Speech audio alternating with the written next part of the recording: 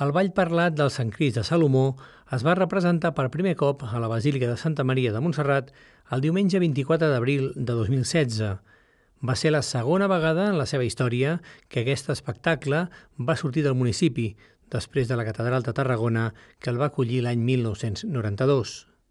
El Ball Parlat del Sant Crist de Salomó és un espectacle d'arrels medievals declarat element festiu patrimonial d'interès nacional per la Generalitat de Catalunya. Pertany al gènere dels balls parlats i posa en escena uns fets llegendaris del segle XVI que la tradició popular ha mantingut fins al dia d'avui. El president de l'associació Ball Parlat del Sant Cris, que assegura que aquesta representació és un símbol de fe per tots els salomonencs, destaca una frase d'un dels personatges principals de l'obra, el mercader.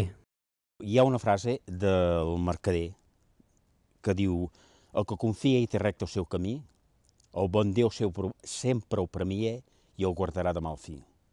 Això, doncs, és un, sens dubte, és un missatge de fe. De fe que ens, que ens dona el, la, el Ball de Sant Cris i creure en aquesta imatge del Sant Cris, que és un símbol de fe per part de tots els salamonencs. La història del Ball Parlat explica que davant la fam que patia el poble i tota la comarca, un mercader salomonenc, Josep Nin, va embarcar vers Alger a la recerca de blat. Va tornar amb l'aliment, però també amb la imatge d'un crucifix que, miraculosament, va comprar per 30 monedes i després de força entrebancs.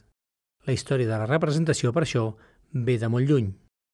Tenim a partir del 1552 dates cronològiques que es fa esment a la nova imatge del Cris.